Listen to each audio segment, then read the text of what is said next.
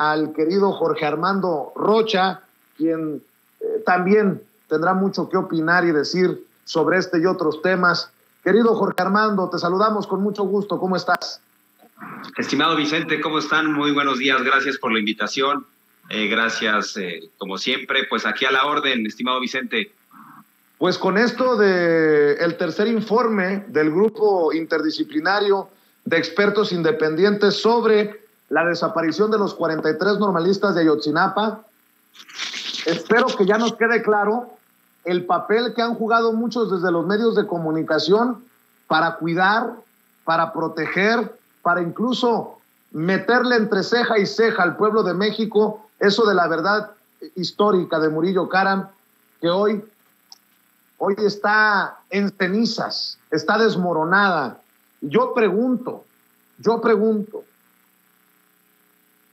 vamos a ver justicia en este caso, mi querido Jorge Armando, porque pareciera que todos estaban coludidos, desde Peña Nieto para abajo, en este cochinero, en este doloroso caso de la desaparición de los 43 de Ayotzinapa. Así es, estimado Vicente. Hay que entender este asunto como algo de Estado, sin duda planificado para hacerle daño a estos jóvenes estudiantes. Incluso ahora sabemos que los militares estaban monitoreando lo que sucedía en esta normal rural y en efecto, eh, trataron de enterrar los hechos. Entonces, la verdad histórica ha sido, eh, digamos, eh, que la punta de lanza del peñismo para tratar de evadir la responsabilidad y de que como sociedad volteemos hacia otro lado. pero es muy frágil esa verdad histórica que construyó eh, Murillo Cara, me estaba escuchando lo que decías, por ejemplo, respecto a algunos comunicadores que han sido cómplices, han sido eh, quienes le han dado voz a esa versión. Por ejemplo, el caso de Carlos Marín, que se atrevió a decir que los padres eh, de las víctimas de Ayotzinapa debían pedirle perdón, debían ofrecerle unas disculpas al exprocurador Jesús Murillo Caram y que la verdad histórica que él elaboró eh, pues sin duda es eh, algo que no se debe de controvertir, que debemos eh, asumirla como tal. pero es claro, si la verdad histórica hubiera sido algo real, no estarían personajes como Tomás Herón prófugos de la justicia. Tomás Herón, hay que recordar que precisamente por sus acciones se le acusa de tortura, entre otras cosas, para fabricar la verdad histórica. Bueno, si eh, esto hubiera sido producto de una investigación profunda, seria, eh, sin cortapisas, no tendría por qué estar prófugo de la justicia, eh, Tomás Herón. Pero Tomás Herón obedecía las órdenes de Jesús Murillo Caram. Y hay que reconocer que Jesús Murillo Caram, como titular de la PGR, era un empleado más de Enrique Peña Nieto. Y Peña Nieto tenía prisa porque se diera ya un carpetazo al asunto eh, para que se pasara a otros temas, querían que la sociedad no conociera la profundidad eh, de este caso y eh, ya seguir con otros temas. Entonces, una prisa del Estado mexicano por tratar de esconder todo esto y hay que reconocer que básicamente el presidente López Obrador le dio a la Secretaría de Gobernación la encomienda fundamental de esclarecer los hechos eh, de lo que sucedió con la desaparición de estos jóvenes. O sea, si algo tiene como misión la Secretaría de Gobernación, esto lo leímos también, por ejemplo, en esta carta que eh, da a conocer, bueno, en, este artículo reciente de Julio Scherer, el ex consejero jurídico de la presidencia, cuando habla de estas diferencias que tiene con Olga Sánchez Cordero, con el propio fiscal, dice básicamente el López Obrador lo que planteó para la Secretaría de Gobernación como encomienda fue precisamente que se encontrara la verdad eh, sobre este asunto. Entonces, si hay una voluntad de Estado. Me preguntas, ¿crees que si se puede saber todo? Pues yo creo que cuando menos el jefe de Estado, es decir, el presidente López Obrador, tiene la voluntad. Lo que pasa es que muchas veces se empantanan los procesos por la burocracia, eh, por otros juegos de intereses, de eh, actores eh, involucrados, intermedios, el caso de Tomás Herón, el caso, por ejemplo, de esta petición. ¿Qué ha pasado con Israel? El presidente está haciendo su parte, le envió una carta al primer ministro israelí para que nos manden a Tomás Herón. entiendo que la respuesta fue en un inicio favorable, pero ya no ha sucedido nada. Tomás Herón sigue allá y en ese sentido, yo creo que el presidente como jefe de Estado está haciendo lo que le corresponde. Y ahora, pues yo creo que también estimado Vicente, audiencia, nos corresponde como comunidad, como sociedad, empujar otra vez, y haces muy bien, estimado Vicente, en colocar el eh, tema en la agenda central también de Sin Censura, porque yo creo que nos corresponde que le demos un nuevo impulso. Hay que recordar que este tipo de casos pues avanzan en función de la presión social porque son tantos los intereses y los altos mandos involucrados que si fuera por ellos, pues carpetazo.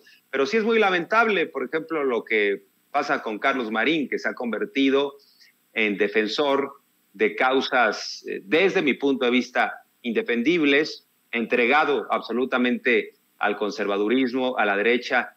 Llegó a decir, por ejemplo, eh, que López Gatel debe estar en la cárcel y exonera a Jesús Murillo Caram. Pues no es el mundo al revés, díganme si ese no es el mundo al revés, decir que Murillo Caram hizo una gran investigación. Marín escribió que la investigación de Murillo Caram respecto a la desaparición de los estudiantes de Ayotzinapa era tan profunda como la investigación de la muerte de Colosio. O sea, la segunda investigación más profunda que se ha hecho en la historia del país después del asesinato de Luis Donaldo Colosio. Así lo planteó eh, Carlos Marín, recuerdo esa columna, y ha defendido a estos personajes oscuros y en el caso de López Gatel lo quiere ver en la cárcel.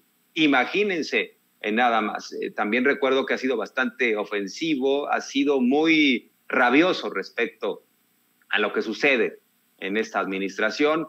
Eh, cuando estaba todavía el asunto eh, pues de cómo se iba a resolver la pandemia y cuando empezaban a llegar las primeras vacunas, recuerdan esta campaña de desprestigio que montaron algunos respecto a la vacuna rusa. Él dijo que los argentinos y los mexicanos eh, íbamos a ser utilizados como pendejillos de indias, así nos llamó si es que nos colocábamos esa vacuna, que ha resultado ser bastante efectiva. Pero bueno, en medio de todo esto estamos, estimado Vicente, y qué bueno que se coloque otra vez el tema hay que empujar, digamos, también como sociedad a este elefante eh, muy reumático de la justicia, porque ¿qué queremos? Que se sepa la verdad. Nosotros eh, no nos hemos tragado ese cuento de la verdad histórica y bueno, pues eh, obviamente la sociedad en su mayoría tampoco lo ha hecho, estimado Vicente. Pues ya que abres la puerta, ahí te va una pregunta durísima. Bueno, considero yo que es una pregunta durísima, querido Jorge Armando Rocha, porque es... Mm. Eh, difícil, complejo de, responder. A Gertz Manero, al fiscal general de la República, Alejandro Gertz Manero, después de la bofetada, del trancazo que significa la resolución, la decisión de la Suprema Corte de Justicia de la Nación de darle la espalda en el caso de la muerte de su hermano, y las responsabilidades por esta muerte a la familia de su hermano, esto que significa la decisión unánime de los ministros de la Suprema Corte de Justicia de la Nación, ¿cómo dejan a Gers Manero? ¿Le, ¿Le queda autoridad moral para que aspiremos a que va a proceder? Fíjate lo que te estoy diciendo. Contra Murillo Karam, contra Cienfuegos, contra Osorio Chong, contra los personajes señalados por eh, la fabricación de la verdad histórica por el caso Ayotzinapa o nos sentamos a, a lamentarnos de una vez? Porque estaría en Alejandro Gersmanero que se avance en esto que tú estás proponiendo con la presión social, pero si no tenemos a un fiscal general de la República con, con ganas o con autoridad moral, pues ya nos chupó la bruja. No, es una pregunta bastante compleja, estimado Vicente, tienes toda la razón. Hoy en día el fiscal Alejandro Gersmanero está en su punto más débil. está contra las cuerdas. Eh, sin embargo, hay alguien que le sigue dando oxígeno, eh, que de manera, eh, digamos, todavía entregándole, dándole el beneficio de la duda, lo está tratando de reanimar. y ese es el presidente de la República. Hoy dijo ya de pasada, yo ya no lo siento muy convincente al presidente respecto de sus propias palabras, pero sí dijo, yo confío en el fiscal y confío en el presidente de la Corte y que sean las instancias las que hablen. Si hay alguna denuncia en contra del fiscal, pues que se investigue. Eh, sin embargo, estamos ya eh, en un momento en donde para el fiscal no hay margen de error. Ya lo aguantó bastante el presidente López Obrador. Y por un lado, hay un tema legal, constitucional, eh, y hay un procedimiento si uno pensaría en la remoción. Eh, eh, vamos a abordarlo rápidamente ese tema. Eh, esto algunos no lo tienen muy claro, pero el fiscal está ahí hasta el 2028, estimado Vicente. Estamos hablando de cuatro años del siguiente sexenio. Va a durar el fiscal Alejandro Gersmanero de acuerdo a cómo está el diseño, ¿no? Entonces, fue electo por 10 años. Eh, eso no es cosa menor. ¿Quién lo puede remover? El Senado no lo puede remover. Primero tendría que salir la decisión del presidente de la República y después el presidente pone a consideración esa decisión de remoción y el Senado tiene que votar a favor o en contra. Pero el Senado en sí mismo no puede decidir eh, el futuro del fiscal. O sea, entonces es un procedimiento en donde primero el presidente tendría que poner a consideración del Senado. El Senado no lo puede poner a consideración, digamos, el, un nuevo nombramiento eh, si se quiere ir por la libre. Entonces esto es un mecanismo que tiene hoy en día de defensa el fiscal, que todavía eh, hay cierta confianza de López Obrador sobre él. Esa es la parte formal. Hay que recordar que el presidente López Obrador es un hombre al cual no le gustan los cambios abruptos, sobre todo cuando ya está formado el equipo, salvo que haya un elemento que escape, ¿no? Eh, a la, digamos, normalidad. Entonces, eh, lo dijo hace algunos días, hay que recordar, él comentó, no conviene al país en estos momentos tumbar al fiscal. En aras de la gobernabilidad, él considera que es peor eh, en este tiempo quitar al fiscal, porque además es concederle mucho a los opositores, es eh, entregarles en bandeja de plata este discurso de no ha habido justicia, eh, no ha habido avances, hay impunidad, eh, el gobierno de López Obrador o su administración es igual a los anteriores, pero yo creo que sí es una llamada de atención durísima la que se le está haciendo desde la Suprema Corte de Justicia de la Nación. También hay una presión social muy clara en torno al fiscal eh, por un lado están los investigados, que no quieren al fiscal. Lozoya, Collado, Ancira, Rosario Robles, ahora dice, yo también, ¿eh? igual que la señora Cuevas, eh, yo estoy injustamente en prisión, o sea, se quiere subir, por ejemplo, a ese tren, ¿no? Yo no le quiero nada a Rosario Robles. Además, Rosario Robles dice, esto ratifica que los casos deben ser juzgados con perspectiva de género.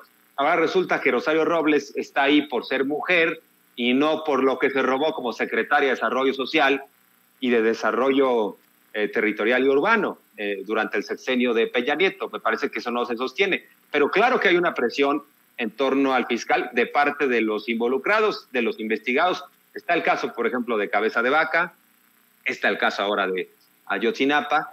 Eh, y por otro lado, también hay una presión de quienes incluso simpatizamos en mayor o menor medida con la cuarta transformación y decimos en dónde están los resultados. Entonces está quedando mal con todos, básicamente, el fiscal. Por eso, insisto, está en su punto más débil.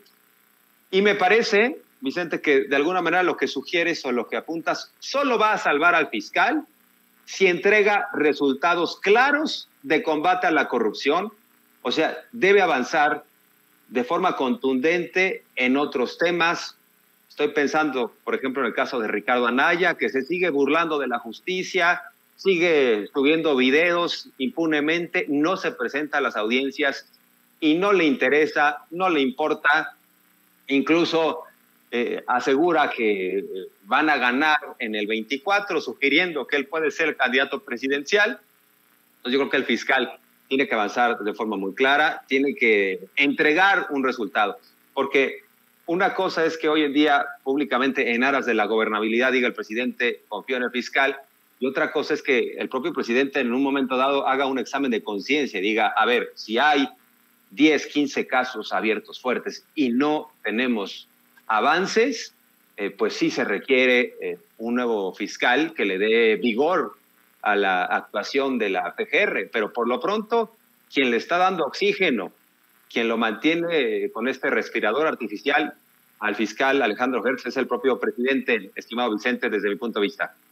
Oye, querido Jorge Armando, para cerrar, veo muy gallito, muy envalentonado a Ciro, a Ciro Murayama contra la revocación de mandato. Eh, eh, hasta percibo alguna burla en sus tweets contra los legisladores de Morena. Ya no hay nada de que ahora sí podemos hablar de, palabras más, palabras menos que publica luego de la decisión del Tribunal Electoral del Poder Judicial de la Federación, con lo que dijo hoy el presidente que incluiría su reforma electoral, me quedé pensando, tú dale, Ciro, mientras te dure, mientras eh, puedas disfrutar lo que te queda, mi querido Jorge Armando, en cada vez una situación más clara de los consejeros, estos consejeros, contra el presidente y contra todo lo que huela a cuarta transformación.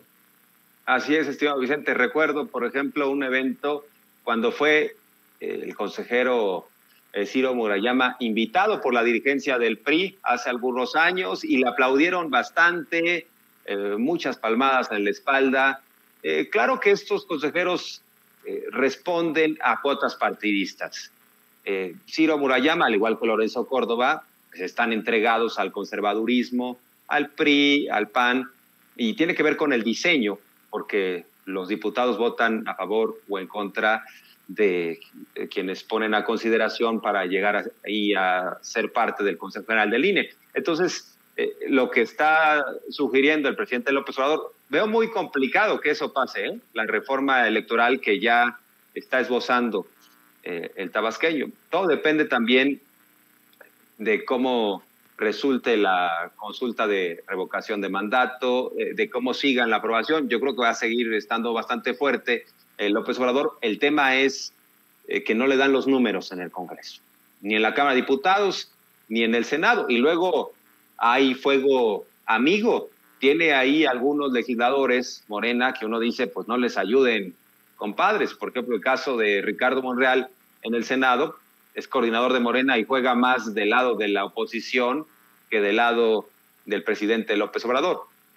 Eh, pero ¿qué sugiere el presidente de la República? Que estos consejeros sean producto ya de la votación directa de la ciudadanía para que eh, evitemos precisamente esa situación en la cual como empleados de diferentes eh, partidos políticos, en su caso el PRI y el PAN, y como el PRI y el PAN eran los partidos dominantes, pues se repartían, ¿no? Claramente el pastel del INE. Pero sí, Ciro Murayama está eh, eh, incluso en este tono, como bien has leído, de burla, anda absolutamente entregado, ¿no? Al prismo, al panismo, enfrentado a Morena, triste papel el de un árbitro, yo creo que eso no debería eh, eh, ser festejado. Eh, yo creo que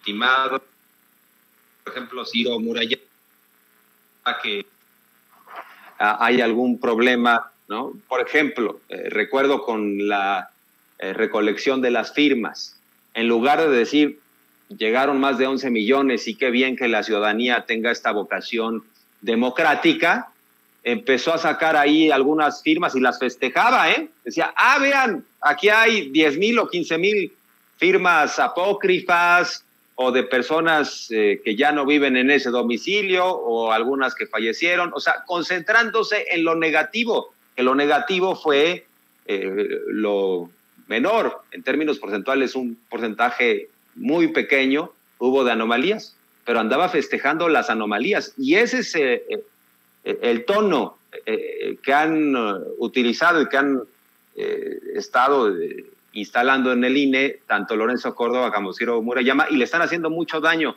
Y como dices, al final del día se están dando balazos en el pie, no se han ayudado, va a venir una renovación total, y no sé si a la mera hora aspire a brincar a un partido político conservador, puede ser, eh, no sabemos si ya tenga trabajo, eh, pero bueno, pues triste papel el del árbitro, estimado Vicente. Así es, mi querido eh, Jorge Armando Rocha, ¿por qué no cerramos invitando a la gente a tu canal de YouTube? Veo que andas muy activo en Twitter, eres uno de los que mueve básicamente la cobertura mediática y eso no es poca cosa. También viene con muchos ataques, ya también me doy cuenta, pero pues para eso nos alquilamos. A mí me dicen que ando eh, en Huatulco, en el, en, el hotel más exclusivo, más lujoso, lo que es mentira, obviamente. Que ando construyendo una casa blanca en Huatulco, lo que es mentira, obviamente. Pero así andan de rabiosos y me imagino que contigo igual o peor por todo lo que mueves en Twitter, querido Jorge Armando Rocha. Estimado Vicente, y no sé quién fue el chismoso o la chismosa que reveló que andabas de vacaciones. Imagínate, en mi caso, solo lo voy a compartir con eh, la audiencia de Sin Censura. Yo anduve de vacaciones en Las Vegas, estimado Vicente. Y, y, la verdad es que no subí ninguna foto, no se dieron cuenta, la pasé muy bien y yo creo que tenemos todo el derecho de decidir si podemos pagar eh, para ir a determinado sitio, tenemos todo el derecho de irnos de vacaciones a donde queramos. Faltaba más que ahora los conservadores nos van a decir dónde sí y dónde no. Es que son clasistas, son racistas, no les gusta el éxito. Ellos consideran que el éxito solo se debe explicar a partir de eh, los recursos públicos, a partir de estar eh, pegados con los intereses como lo estuvieron muchos. Eh, los López Dóriga, Loret, eh, los Ciro, todos estos, como estuvieron muy cercanos a quienes ostentaban el poder y además repartían a manos llenas, bueno, algunos explican eh, el éxito a partir de eso. Yo creo que el éxito no tiene nada que ver eh, con esas prácticas que le hicieron mucho daño a este país. Entonces, pues yo la verdad me la pasé muy bien en Las Vegas. Si estuviste en Huatulco, no lo sé. Ahí luego nos vas a decir quién fue el chismoso o la chismosa. Pues, y la pasaste muy bien. Me parece excelente, estimado Vicente. Trabajas mucho. Creo que para eso trabajas también. Eh, a veces sí hay que eh, salir de vacaciones. En mi caso, yo llevaba, cuando menos, ¿qué te gusta? Seis meses sin tomarme unas vacaciones. Y es válido, estimado Vicente. Pero bueno, eh, ¿qué le hacemos? Si quieren ponerse rabiosos por esas cosas, es su problema. Pues sí, eh, creo, me, sé el apodo, la marrana parada o algo así le dice Ricardo mm. Salinas Pliego, el, dueño de, de, TV Azteca, este arquitecto, Mario Ponce, creo que es socio de, de, Javier Lozano, creo que se va a casar con la que se iba a casar, el Priar. En fin, no conozco mucho, pero entiendo si así se, así se llevan entre ellos. Ahora entiendo por qué me quieren llevar me quieren subir al ring, pero no. Estoy de acuerdo contigo. Por cierto, lo que, lo que pasa en Las Vegas se queda en Las Vegas, mi querido Jorge Armando Rocha. Oye, así es. ¿Dónde te buscan? ¿En dónde te encuentran? Eh, ah. en, redes sociales, por favor.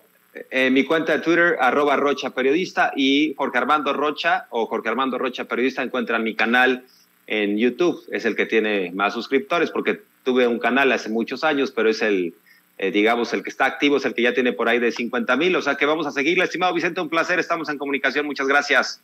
Claro que sí. Un abrazo, Jorge Armando Rocha. Abrazo. Sin censura. ¿Se quedaría en el César Palace, en el Initian, en el MGM?